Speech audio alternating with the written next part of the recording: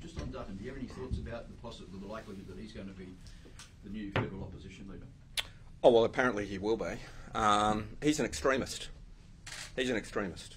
And uh, I don't think he fits with modern Australia at all. And he doesn't seem to listen. He's extremely conservative.